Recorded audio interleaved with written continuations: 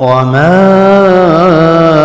آتاكم الرسول فخذوه وما نهاكم عنه فانتهوا. عن انس رضی اللہ عنہ ان رسول اللہ صلی اللہ علیہ وسلم قال هؤلاء خطباء من امتك يأمرون الناس بالبر وينسون انفسهم. حضرت أنس رضی اللہ عنہ سے روایت ہے کہ رسول اللہ صلی اللہ علیہ وسلم نے ارشاد فرمایا، میں نے معراج کی رات بہت سے لوگوں کو دیکھا، ان کے ہونٹ آگ کی کینچیوں سے کاٹے جا رہے ہیں۔ پوچھا، جبریل، یہ کون لوگ ہیں؟ کہا، یہ لوگ آپ کی امت کے خطیب اور واعظ ہیں، جو لوگوں کو نیکی کی ہدایت کرتے ہیں اور اپنے آپ کو بھول جاتے ہیں یعنی خود نیک عمل نہیں کرتے۔ آپ صلی اللہ علیہ وسلم کو اللہ جل جلالہ نے پوری انسانیت کے لیے آخری نبی بنا کر بھیجا اور امت کے آخری فرد کی رہنمائی کے لیے رسول اللہ صلی اللہ علیہ وسلم کو بھیجا اور رحمت للعالمین بنا کر بھیجا کہ رحمت ہیں، رہنما ہیں، ہدایت ہے اور پوری کی ام، پوری امت کے لیے نور ہیں۔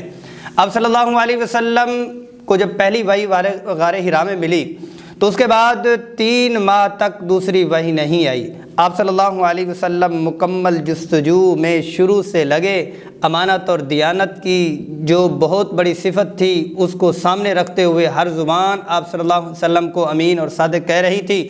ایسے ہی اپنے گھر سے شروع کی کہ گھر میں سب سے پہلے حضرت ختیجہ رضی اللہ عنہ ایمان لائیں۔ کردار اتنا پیارا تھا۔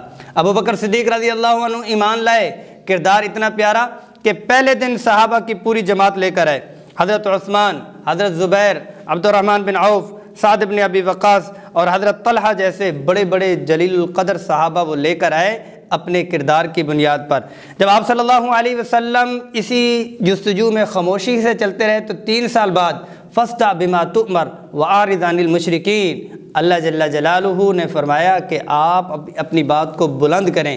تو آپ صلی اللہ علیہ وسلم نے صرف دعوت نہیں دی، بلکہ اللہ کی دی ہوئی ہدایت، ادعو الى سبیل ربک بالحکمت والموعظۃ الحسنہ، کہ صرف دعوت نہیں ہے، حکمت اور موعظہ حسنہ سے۔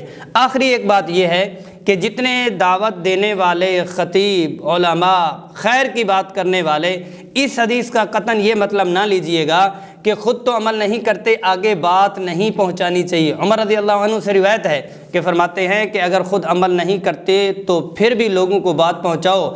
آپ کا عمل آپ کے ساتھ رہے گا، لیکن دوسرا جو بندہ ہے وہ خیر کا سبب بن جائے گا، اس میں خیر آ جائے گی۔ باپ حافظ نہیں ہے، بیٹے کو حفظ کروا رہا ہے۔ اچھی بات ہے، باپ سگریٹ پیتا ہے، بیٹے کو منع کر رہا ہے۔ اچھی بات ہے، اس اچھی بات پر اس کو ثواب ملے گا اور جو جس برائی میں ہے وہ چھوٹ جائے گا۔